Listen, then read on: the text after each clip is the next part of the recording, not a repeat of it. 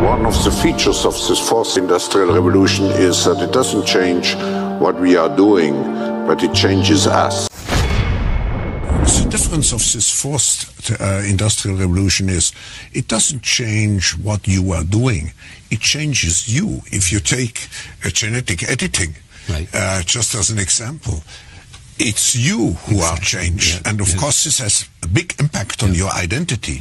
Editing your genes? Cool. I'll explain that later. But first, why do so many people consider this guy, Klaus Schwab, to be the most dangerous man in the world? Well, there's some reasons. A lot of them. You might remember Klaus Schwab as the puddle of liquefied feces who said, by 2030, you'll own nothing and be happy about it. Translated, that probably means by 2030, he'll own everything and he'll be happy about it. But how does he expect you to own nothing and be happy about it? Oh, he's got a plan. Now, I'll tell you about it in a minute. But before I do, a little bit about Klaus Schwab. He's the author of COVID 19 The Great Reset. What a grand opportunity indeed. Oh, and his book was published on July 9th, 2020. Wonder how he got it written and published that fast.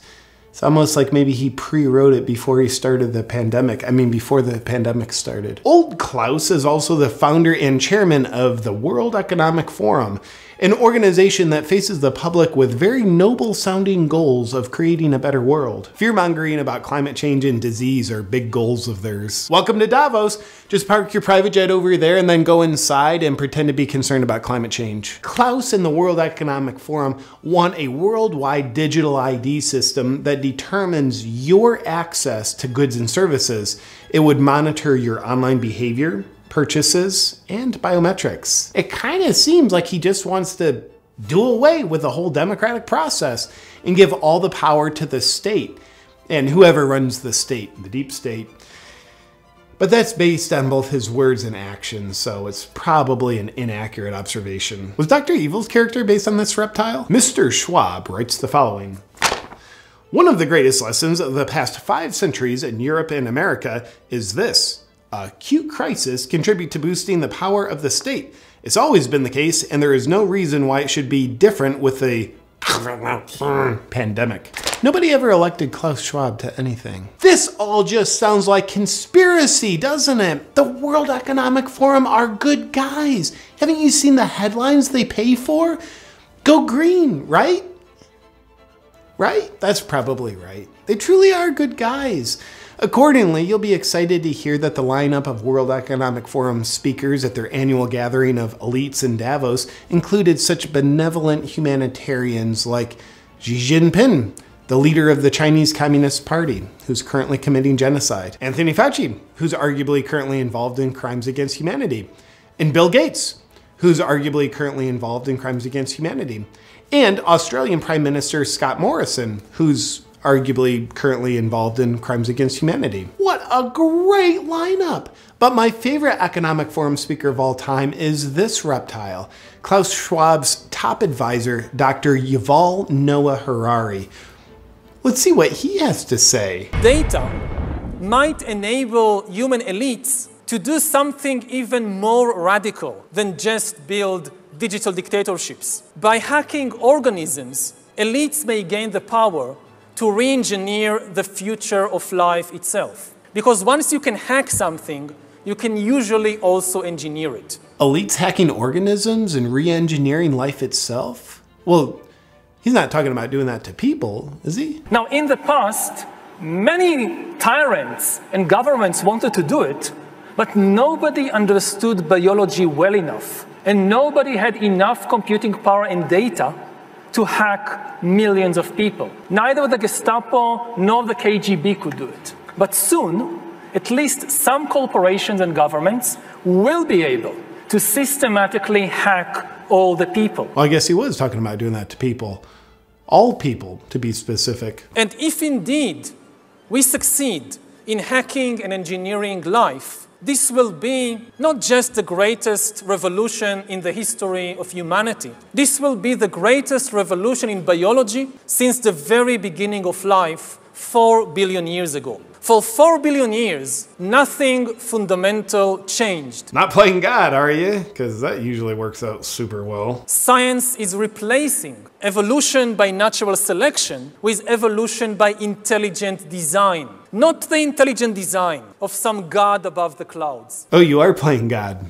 Say more. Evolution by natural selection with evolution by intelligent design. Not the intelligent design of some God above the clouds, but our intelligent design and the intelligent design of our clouds, the IBM cloud, the Microsoft cloud, these are the new driving forces of evolution. Gosh, you wouldn't by chance have a plan in place on how to control people with your cloud technology, would you? And that plan isn't by chance already being implemented, is it? Today, we have the technology to hack human beings on a massive scale. Oh, so you could implement it. In this time of crisis, you have to follow science. It's often said that you should never allow a good crisis to go to waste. Sounds familiar. And I guess you are implementing it already. Didn't anyone bother telling this guy not to say any of this out loud on camera? It's it's just it's a lot of evidence. Surveillance, people could look back in a hundred years and identify the coronavirus epidemic as the moment when a new regime of surveillance took over, especially surveillance under the skin. my brain, my body, my life, does it belong to me or to some corporation or to the government or perhaps to the human collective? This guy's revealing the whole plan. He's going to ruin it. The World Economic Forum, out for the good of humanity. You'll own nothing, not even your own DNA if we have our way. Now for some additional fun facts about Klaus Schwab and the World Economic Forum. They've got a Young Leaders Program, which is a five year indoctrination program into their principles. The goal of the program is to create world leaders who don't answer to their people because they don't care about them. They answer to their bosses at the World Economic Forum. Graduates of the program include admirable world leaders that are suspiciously in lockstep with the Great Reset, such as Justin Trudeau, France's Macron, and Mark Zuckerberg. Sponsoring partners of the World Economic Forum's Young Global Leaders program have been the Bill and Melinda Gates Foundation and Google. I wonder why Google censors and shapes information to be in exact support of the World Economic Forum's narrative. Hmm. Oh, another fun fact the World Economic Forum is predicting a worldwide cyber attack. I'm pretty much a wizard at predicting the things I'm going to do too. The very concerned Schwab believes the cyber attack could bring a complete halt to our power grid, transportation, hospital services, and to our society as a whole. The World Economic Forum then simulated the cyber attack. Simulated or planned? I'm not sure, but they said it was a simulation, so it's probably best to just believe them. Oh, also the World Economic Forum, along with the Bill and Melinda Gates Foundation, hosted Event 201, which oddly enough played out exactly as they planned. Or simulated, or whatever. Let's move on. And here's a picture of Klaus Schwab sitting in front of his statue of Vladimir Lenin. I wonder why he's got a statue of one of the most murderous world leaders in history. Lenin killed an estimated 5 million people. And finally, remember Schwab's whole thing about you'll own nothing and be happy about it? What's the World Economic Forum's plan to make that happen? Well, it's probably nothing, but Consider this. BlackRock is an investment firm with $9 trillion under management, which is a higher GDP than every country on earth, aside from the US and China. Therefore, it turns out BlackRock has more political and financial influence than the Federal Reserve and most governments. Sounds cool, but what's the connection with a World Economic Forum? well, again, and it's probably nothing, but BlackRock CEO Larry Fink is also just a board member of the World Economic Forum. Well, that's super convenient. And probably just a coincidence. Is the World Economic Forum and BlackRock colluding in corporatism, where an unelected corporate elite dictates top down to the population? Well, they couldn't be doing that because they'd have to infiltrate the government, which they haven't done except for in one of Joe Biden's first appointees once he took office, he named Brian Deese to be the director of National Economic Council. Brian Deese came from BlackRock, where he was a global head of sustainable investing, and now he's Biden's main advisor for economic policy. Biden's making the policy decisions, not the unelected corporate elites at BlackRock and the World Economic Forum. Of course, Biden's making all the decisions. Let's not be silly. Oh, look, there's a picture of Biden in the audience at the World Economic Forum. Oh, and also, Kamala Harris's chief economic advisor is Michael Pyle. He came from BlackRock, where he was a global chief economic strategist overseeing the strategy for investing $9 trillion. Well, it looks like corporatism, but it's probably not. But if it was, it would actually be a viable strategy for BlackRock and the World Economic Forum to own everything and for you to own nothing. Oh, fun fact BlackRock is buying up single family homes at an alarming rate, oftentimes paying 20 to 50% above asking price. So normal people like you and I can't own the homes. Now, there is an interesting pattern to all this. You know how you hear about ancient tyrannical rulers who would rule over their dumb people by saying things like, Yeah, if you don't do all of this slave labor and let me sleep with your wives, then God's gonna make you all perish in a deadly storm. Well, God told me, and because I'm elite, I have access to this knowledge and you don't. So you better do as I say or you're gonna die. Well, us peasants can't perceive what the king can, so we better do as he says. Go ahead and bang my wife and thank you for doing it for my protection, King. Good old fear mongering, a predictable pattern as old as time itself. But with Klaus in the World Economic Forum, it's climate change is gonna kill you, disease is gonna kill you, and a cyber attack's gonna get ya. So you better do as we say, or you're gonna die. I don't know, the weather looks pretty good to me. Why don't you ever smile, Klaus? You look like a sociopath. No, you don't understand. We elites have access to knowledge that you don't. So you better listen to us or you're gonna die. Same old fun pattern of fear mongering. They know of the scary problems and only they have the solutions. So listen up or you're gonna die. gotcha, Klaus. Nothing new here. We see you. In conclusion to the question, is Klaus Schwab the most dangerous man in the world? Here's his top guy again. Humans are now hackable animals.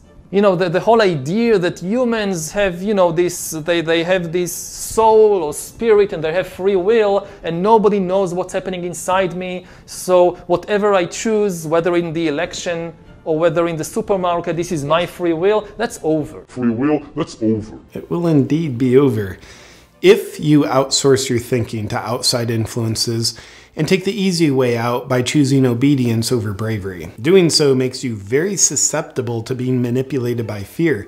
And if this happens, you will fail at remaining a free, sovereign individual. But here's how Schwab and his friends, who sociopathically never smile, fail at their great reset, and you succeed at remaining a free, sovereign individual. Be guided by your own critical thinking and what your heart and soul knows is right.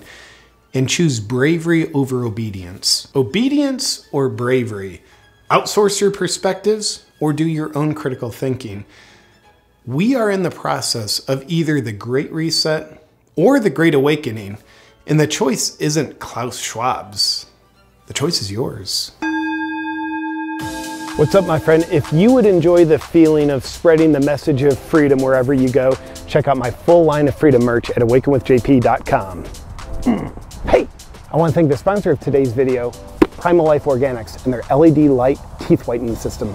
If you don't have teeth, then this ad is not for you. Sorry to be uninclusive. But if you have teeth, then you'll like what I'm about to say because Primal Life Organics, in my opinion, has the world's number one natural teeth whitening system.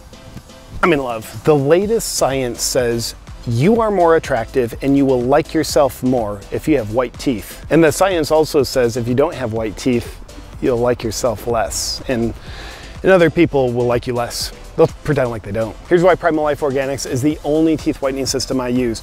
Number one, it's free of harmful chemicals and harmful peroxides that damage and denature your teeth that other teeth whitening products contain. Number two, it's very effective at whitening your teeth. Just 16 minutes a day, three days a week, and you're left with a brighter, whiter smile. And number three, it's just cool. It's got an LED light mouthpiece that whitens your teeth with blue light and it soothes gum inflammation with red light. And look, look at this. This is a food grade teeth whitening gel. This is all natural and it helps whiten your teeth without poisoning you. I just spat on the camera. You're welcome. Just calm down. If you want to get in on it with me and whiten your teeth with Primal Life Organics, just go to naturalteethwhiteners.com slash JP. And at that link, you get a full 60% off. Enjoy.